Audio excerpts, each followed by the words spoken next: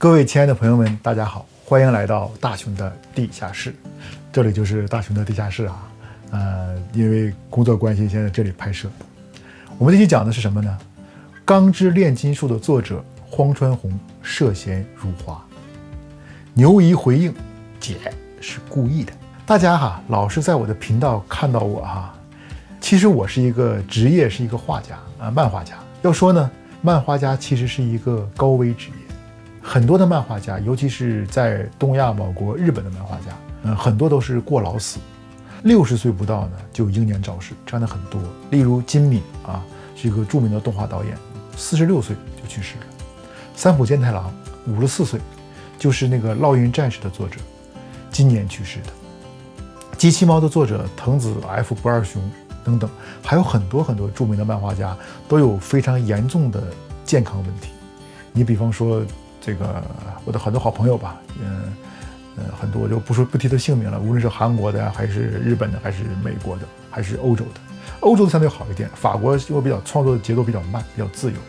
还有一部分呢，就是这个死于言论。我刚才说到法国嘛，你二零一五年法国这个有个《查理周刊》，一屋子漫画家都死于恐怖分子的枪下，那些作品呢？呃，哪怕触动了某些人的神经，就会分分钟面临这种死亡，这是一件很这个很悲伤的事情。我今天呢就要说的是《钢之炼金术》的作者荒川弘的辱华事件。《钢之炼金术》是一个非常有名的一部漫画，后来改编成动画，在中国非常流行。故事发生在一个炼金术相当发达的世界，在这个世界的。炼金术呢，是以理解物质的内在的法则，嗯，它分为理解、分解、再构造而成立的。进行炼金术呢，必须按照等价交换的法则。为了获得某种东西，嗯，需要以同等的代价进行交换。如果代价不够的话呢，便需要以自己的任何部分，呃，身体的一部分呐、记忆等等，被作为代价来填补而被拿走。这个爱德华和他的弟弟啊。十分思念他们还在小的时候就已经亡故的母亲，为了再次见到母亲呢，进行了炼金术中最大的禁忌，就是人体炼成术。可是因为炼成时的反噬，艾尔泽呢就失去了全身，爱德华呢又失去了左脚。为了换回弟弟呢，爱德华牺牲自己的右手作为代价，将弟弟的灵魂炼成，并将弟弟阿尔冯斯的灵魂固定在一个铠甲中。从此，爱德华和阿尔丰斯就为了取回他们所失去的一切，开始了踏上找回自己身体的旅程。这个漫画哈也快有二十年了，影响了从八零后到零零后。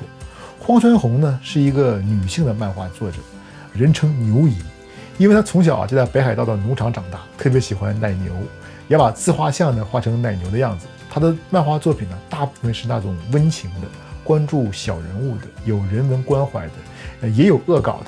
她其实是一个很典型的这么一个左派的女性的思想，喜欢动物啊，喜欢世界和平，环保主义者，常常呃被拿来和直男这个剑山创来进行比较。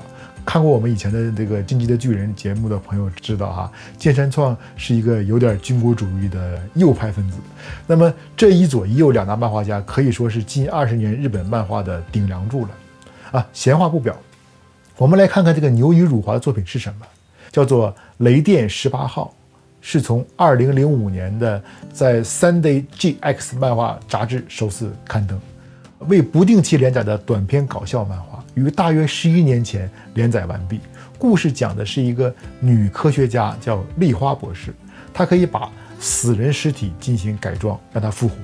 而男主角呢，脸上长着这个拉链的，就是弗兰克斯坦，又叫雷电十八号。这个弗兰克斯坦的是大诗人雪莱的夫人玛丽雪莱最有名的科幻小说《科学怪人》里面的人造怪物的名字。很多人看过这个电影。这两个人不知道怎么混进了大英博物馆。博物馆里啊有各种名人的尸体，包括希特勒、斯大林、撒切尔夫人。然后这两人呢一顿操作，把这些名人都复活了，闹得鸡犬不宁。然而另外一个人山寨了他们的技术。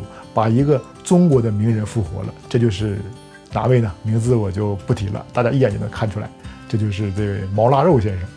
内穿传统的北京比基尼，搭配中山装，脸上贴个符，一看就是港产僵尸片的文化遗产。符上用中文写着：“请问厕所在哪里？”据说啊，牛姨多年前去过中国旅游，当时的强国很难找到厕所，以防万一，就向导游学了一句中文，以备不时之需。牛姨多年来啊念念不忘，于是就把这个唯一的一句中文写在了符上：“请问厕所在哪里？”而且毛腊肉先生很快就被。打败的时候还大喊了一声“大跃进”，可能相当于街霸里的“好有根”。其实这是啊，已经完成连载十一年的老漫画了。今年六月呢，出了单行本，是一个短篇，只有一册。这一下就掀起了轩然大波，各种帝霸出征啊，在中国的社交媒体上啊，把牛一和出版社骂得狗血淋头。留言包括：“太令人失望了，再见。”荒川和出版社编辑部应立刻用中文和日文谢罪，并说明画漫画的人是故意卷入政治，是不是有头脑有问题？当然就是一片小粉红的这个怒骂，我们已经习以为常，可想而知了。在一片骂声中呢，牛一非但没有道歉，还在漫画杂志月刊《Sunday》的七月号刊登了最新的访谈中透露出，当他在画《钢筋炼金术》的时候的第三画的时候，在那时候中国的盗版已经很猖獗。他为此感到很苦恼，很想画个让那个国家不敢出也出不了盗版的作品。牛一的防盗技术呃很别致哈，终于正版了也卖不成了。那为什么一十一年前的这个漫画今天会被翻出来辱华呢？我认为啊，漫画没变，是时代变了。十一年前的中国，那时候还有一种人叫做公知，比如当时的这个李承鹏啊、韩寒呐。和五毛各占半壁江山，可是现在呢，公知已经消失了，网络上都是大小五毛，啊，大五毛、小五毛、小五分，连湖边都骂成了公知了，可见这个社会也就变成又往左，不知走到哪里去了。连当年那个白衣飘飘、书生意气的高晓松啊，都割了双眼皮开始唱红歌了。可以这么说，大部分中外艺术家按照今天的标准往上查三十年，呃，终究难逃不了辱华。我知道我身边的年轻的朋友，像甘金炼金术的粉丝还是挺多的。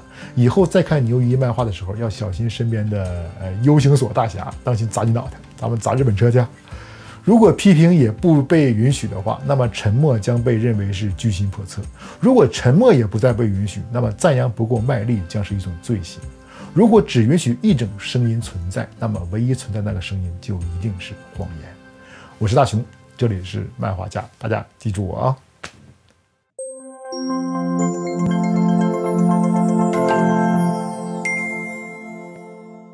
我饿了，hungry，这肚子咕咕叫。I can hear.